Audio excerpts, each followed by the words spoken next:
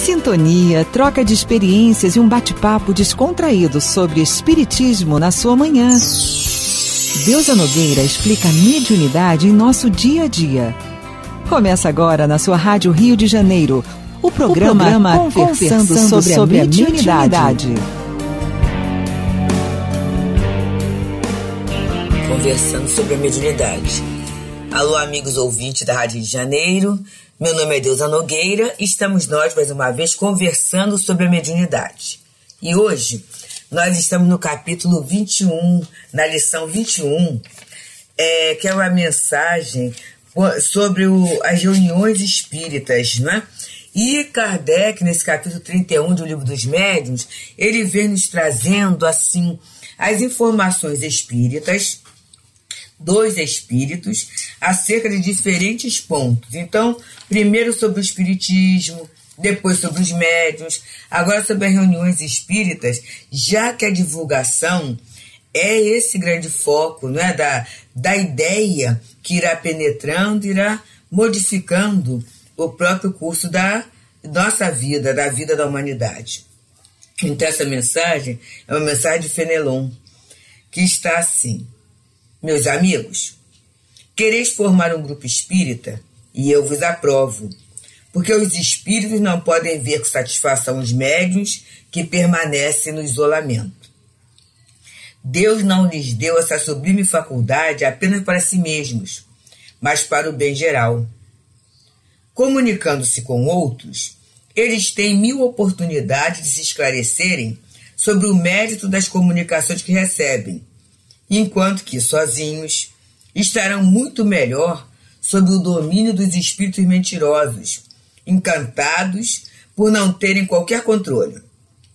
Aqui está para vós, e, se não estiverdes dominados pelo orgulho, vós os compreendereis e tirareis proveito disso. Agora, aqui está para os outros. Compreendeis bem o que deve ser uma reunião espírita?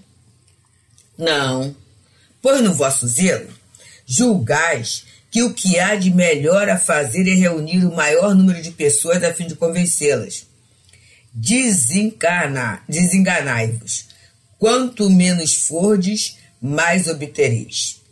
É sobretudo pelo ascendente moral que exercerdes que atraireis para vós os incrédulos, muito mais do que pelos fenômenos que obtiverdes se apenas pelos fenômenos atrairdes, virão ver-vos por curiosidade, e encontrarei curiosos que não acreditarão que rirão de vós. Se encontrarem dentre vós unicamente pessoas dignas de estima, talvez não creiam imediatamente, mas vos respeitarão. O respeito sempre inspira a confiança. Estais convencidos de que o Espiritismo deve acarretar uma reforma moral, que o vosso grupo seja, pois, o primeiro a dar o exemplo das virtudes cristãs. Porquanto, nesses tempos de egoísmo, é nas sociedades espíritas que a verdadeira caridade deve encontrar refúgio. Esta deve ser, meus amigos, uma reunião de verdadeiros espíritas. Numa outra ocasião, dar-vos-eis outros conselhos. Então, mensagem Penelon foi alguém ligado à filosofia, foi poeta, não é? E traz para a gente muito, muita coisa para pensar.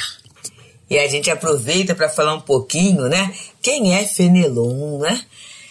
É, Fenelon é um dos espíritos da codificação e ele pertence à equipe do espírito de, da verdade, né? E ele é o nome literário de François de Salignade de Lamotte, nascido no castelo de Fenelon em Périgord, em 6 de agosto de 1651. Desculpe o francês, tá, gente? Foi prelado e escritor francês.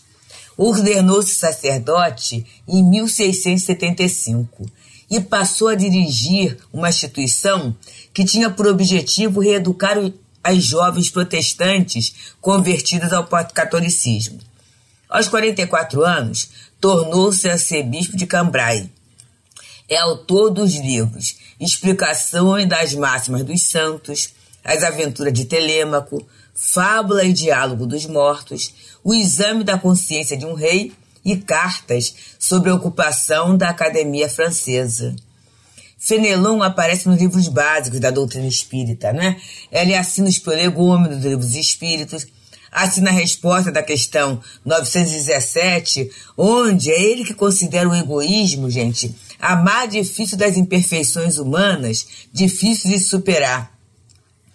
É, no Evangelho ele tem vários momentos, né? Ele um é a revolução moral do homem, no outro ele fala o homem de bem, os tormentos voluntários, no capítulo 5, a lei de amor, capítulo 11, o ódio, no capítulo 12, o emprego da riqueza, no capítulo 16. E no livro dos médios, ele vai falar sobre as dissertações, nesse capítulo 31, das dissertações espíritas, ele fala das reuniões mediúnicas né, e da multiplicidade dos grupos espíritas.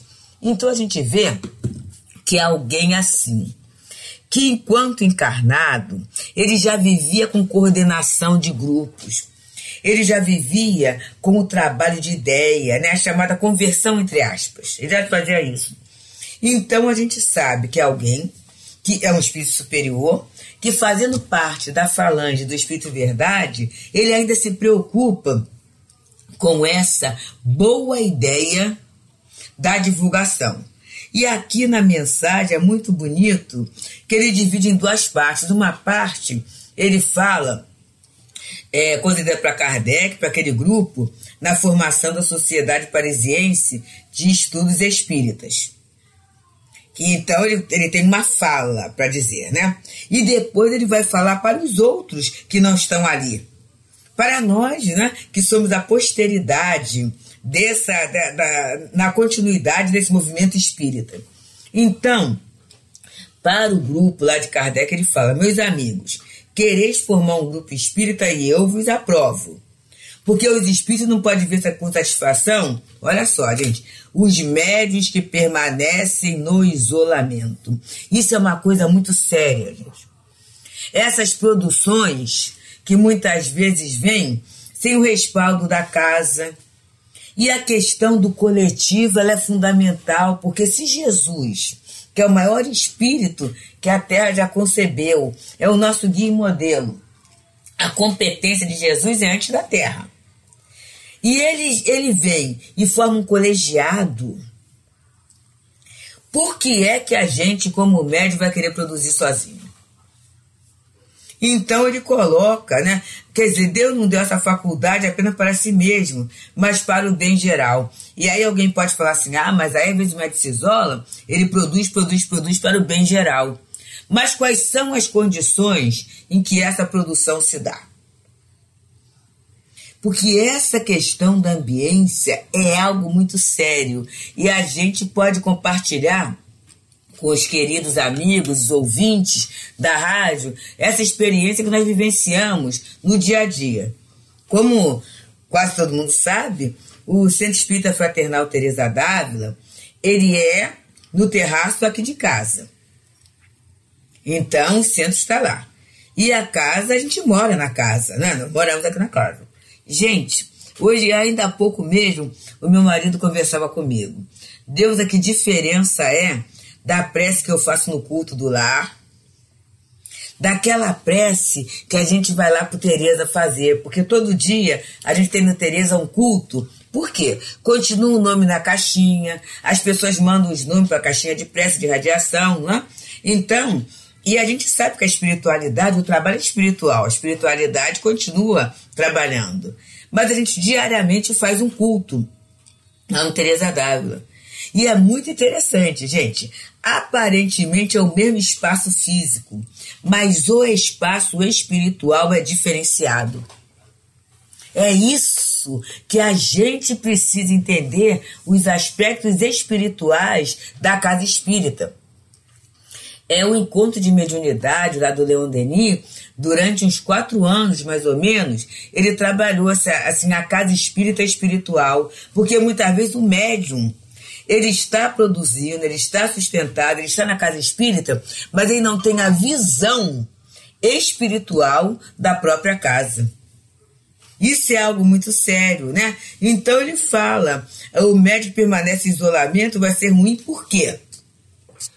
Ele vem nos dizendo né, que o comunicando-se com os outros, eles têm mil oportunidades de se esclarecerem sobre o mérito das comunicações que recebem, enquanto que sozinhos estarão muito melhor sob o domínio dos espíritos mentirosos, encantados por não terem qualquer controle. Então, isso é uma coisa assim no começo é, do trabalho da codificação, a coleta da, das, do, dos trabalhos era mais ou menos nas casas, né, alguma coisa individual, ele recebia, Kardec recebia comunicações, mensagens, tudo isso, mas mesmo assim, quando a gente pega aquele documento do Canuto de Abreu, que ele fala da, da, do, do desse começo do Espiritismo, né, as médios que serviram à codificação, a gente observa, gente, Senhora Jafé, é, assim, ali já começa a ter uma metodologia,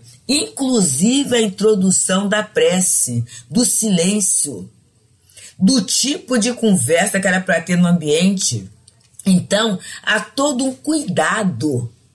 Não é ritual, não, gente. Há todo um cuidado para que a comunicação aconteça de uma forma proveitosa, de uma forma útil. Então, há leis, é isso, Leis da Comunicação Espírita, que é um capítulo maravilhoso que o Leon Denis, na obra No Invisível, ele insere. Então, quando eu estou em conjunto, a gente vai tendo até assim o mérito da comunicação. Por quê, gente? Porque muitas vezes a gente, como médium, não percebe que está sendo veículo. No programa anterior, nós é, trabalhamos né, com, com o grupo que, que, que o grupo que faz, que, que coordena do, o três do colegiado do Encontro sobre Mediunidade no Leão Denis. E aí, entre esse grupo, tem uma companheira chamada Márcia Cordeiro, né? Que vocês viram, que falou até no finalzinho da entrevista. E ela é, já falou uma vez para mim assim: é, os espíritos já me deram várias vezes respostas através de coisa que você falou. Olha só, gente, eu não tinha nem noção que aquilo era resposta para alguma coisa. Mas quando você, através do contato com companheiros, você tem esse retorno, tem esse feedback, você começa a ficar o quê? Muito mais cuidadoso com o conteúdo que você está absorvendo da vida. O que, que eu leio, o que, que eu falo, como eu ajo, como eu penso, como está a minha prece. Por quê? Você percebe que a, possibilidade de estar sendo usado por espíritos sérios, responsáveis, bons, para ser útil. Mas como a mediunidade é neutra, você percebe o quê? Ah, se eu não tomar cuidado, olha, daqui a pouco eu posso estar sendo um veículo da destruição, da desordem, da maledicência. Então é essa instrução é que o contato com outros médios, que o trabalho em equipe vai dar uma fortaleza, inclusive porque estabelecendo laços de amizade, a gente começa, não é? a ter, a ter assim, confiança um no outro. Então eu sei que o outro não está falando porque inveja alguma coisa, ou porque está querendo destruir, não. Ele está falando porque ele quer me ajudar. E isto é altamente útil, respeitável e venerável, né? Mas quando eu estou no isolamento, não. E aí fica muito mais fácil. Espírito mentiroso, que, que estão encantados por não terem qualquer controle, assumirem o controle, o comando da minha orientação mediúnica. Eu começo a ter uma confiança cega, eles começam a adorar isso, e daqui a pouco, olha eu falando que não devo, Olha eu me achando detentora de uma missão.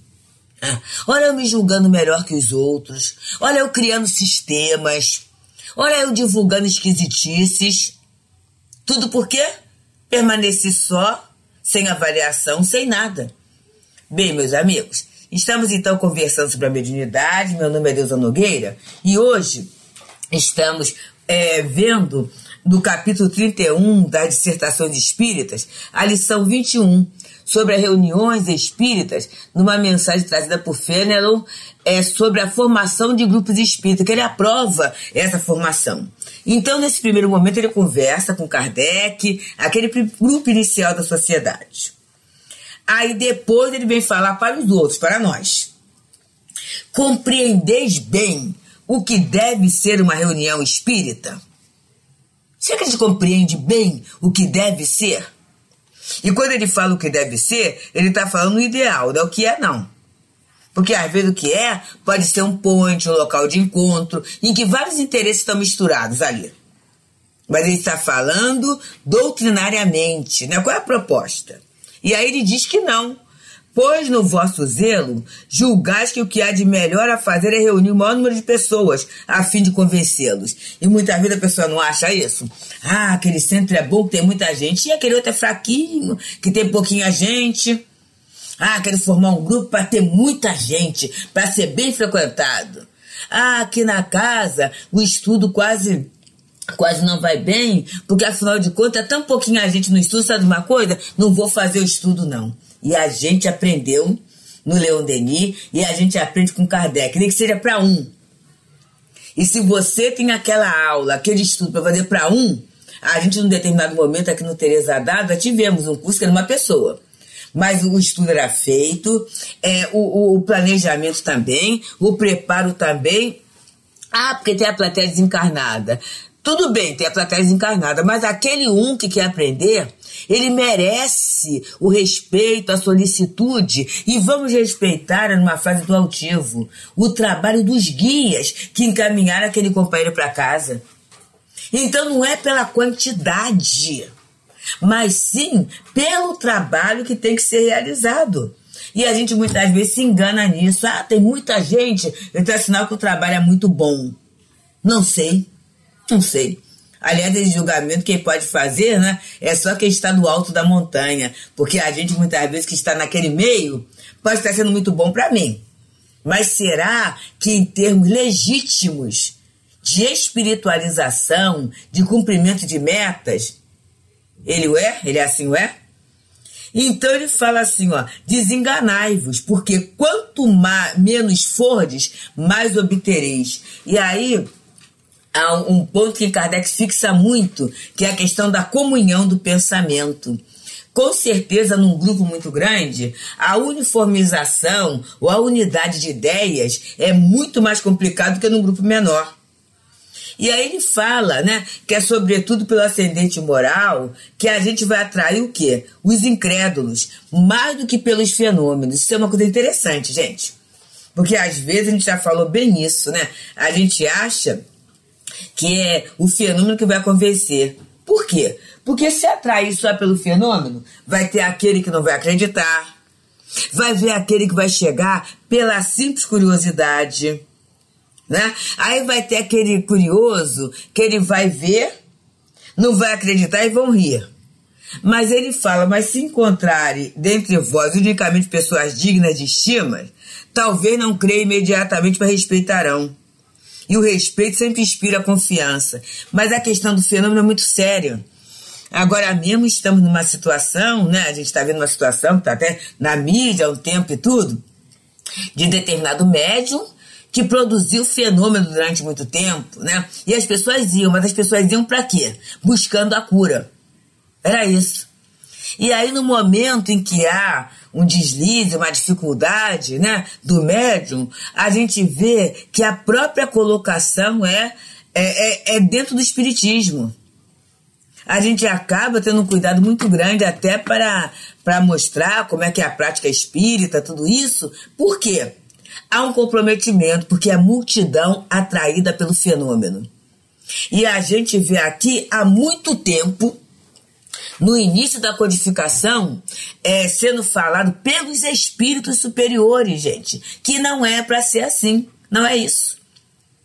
Não adianta produzir fenômeno para atrair muita gente. A proposta da doutrina não é esta.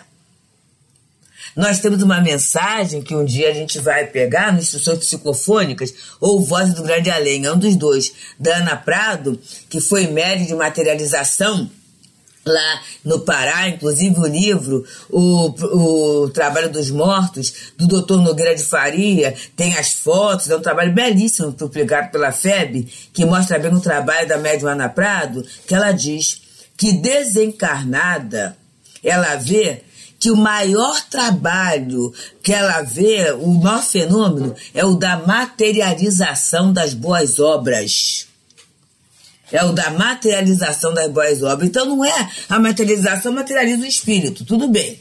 Aí você vê, você se deslumbra. Mas e depois? Você fala, será que foi mesmo? E vamos observar que o fenômeno, quando ele não é consolidado por um estudo sério, quando ele não é consolidado é, é por, por, essa, por essa questão, por essa noção interior mesmo, ele sempre vai deixar uma dúvida. Ele sempre, até porque os meios de investigação não serão os meios convenientes, que a criatura não sabe, para o fenômeno mediúnico. A ferramenta não será a, a conveniente. Então ele fala, mas quando você encontra pessoas sérias, você respeita. E peraí, mas fulano estava lá? Fulano avalizou, avaliou o fenômeno como algo verdadeiro? Então, deixa eu pensar. Né? E aí ele coloca é, estás convencido de que o Espiritismo deve acarretar uma reforma moral. Esse é o principal ponto, gente. É reforma moral. Que o vosso grupo, pois, seja o primeiro a dar o exemplo das virtudes cristãs. Então, qual é a principal tarefa do Espiritismo? É fornecer ferramentas para a reforma moral. E qual é a principal ferramenta que ela oferece? É a nossa identidade. Somos espíritos imortais. Cada um de nós colhe o que plantou e planta o que vai colher. Somos perfectíveis, filhos de Deus. Fazemos parte de uma grande família, que é a família universal.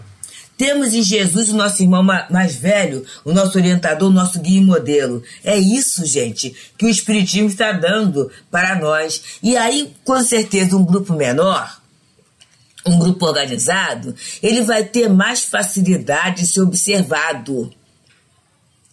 Enquanto na multidão muita coisa se confunde, muita coisa se dispersa. E aí aqueles companheiros de má vontade, né, eles vão atacando. Eles vão encarnados e desencarnados. E aí ele vem trazendo lindamente, encerrando.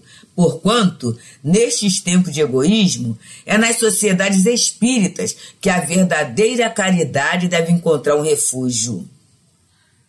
Esta deve ser, meus amigos, uma reunião de verdadeiros espíritas. Numa outra ocasião, dar-vos-eis outro conselho. E aí tem uma notinha em que Kardec fala: Conhecemos um senhor que foi aceito para um emprego de confiança numa casa importante porque ele era espírita sincero e consideraram ter encontrado nas suas crenças uma garantia de moralidade. Eu me lembro do nosso professor Zé Jorge uma vez contando isso, que a criatura foi chamada para testemunhar lá um fato, e aí alguém falou assim: não, basta, o testemunho dela basta, porque ela é espírita, e espírita não mente. Olha só. Então ela foi observada, né? E o grupo pequeno, ele dá essa chance das pessoas se conhecerem do caráter ser visto. Então, meus amigos, assim, alguns de nós, eu mesmo faço parte de Leon Denis, e vou a determinadas casas que são grandes, né? Mas a gente sempre percebe que a direção dessas casas procura orientar, procura organizar, procura realizar estudos em pequenos grupos. E procura ter sempre uma, uma seriedade muito grande para que a casa não se perca. Centro espírita é local em que estamos aprendendo a exercitar as virtudes cristãs, como disse Fenelon, que serão a maior garantia nesses tempos de egoísmos, de dificuldade que a nossa sociedade vive. Então, queridos, que possamos ter um dia de paz, de compreensão e de muita gratidão a Deus por essa abençoada Rádio Rio de Janeiro que nos permite esse contato tão valioso. Muita paz. Deusa Nogueira explica a mediunidade em nosso dia a dia. Programa Conversando sobre a Mediunidade.